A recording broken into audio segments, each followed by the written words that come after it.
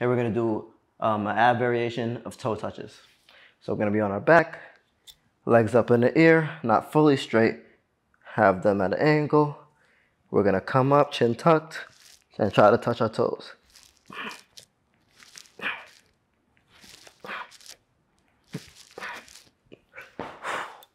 And then we have our toe touches.